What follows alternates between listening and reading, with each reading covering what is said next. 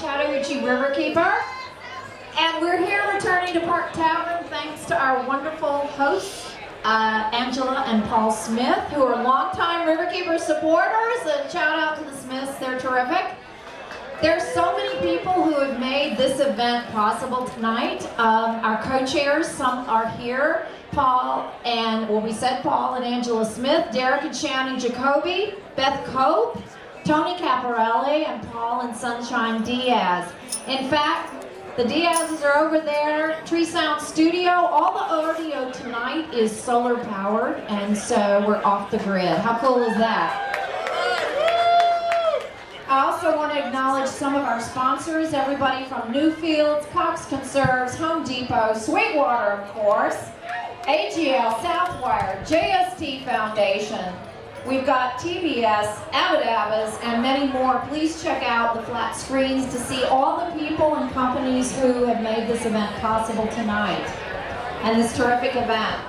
So I want you to also go to the Riverkeeper booth and get some of our materials and check out what the Sierra Club's up to over there. They've got some really important information about mercury.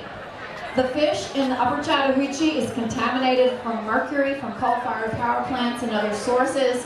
And EPA finally, after 20 years, is coming out to hold hearings and propose a stronger rule. And the hearing next week in Atlanta will be only one of three in the country and we'll be there. So check out, please, the Sierra Club booth as well. We've also got the bag monster. He's somewhere over there. Where is he? He's outside. Plastic bags and plastic bottles. That's what we find in this river every time we're out there doing a cleanup. The volume is unbelievable. Stop using plastic bags and plastic bottles, please. So, in just a few minutes, these awesome guys behind me, Ponderosa, are going to start playing. But in the meantime, have some Waterkeeper Ale from Sweetwater and check out the silent auction. We need your support. We need your funds. And don't forget to buy a t-shirt, an event t-shirt I gave of my liver to save the river. Thank you. Thank you.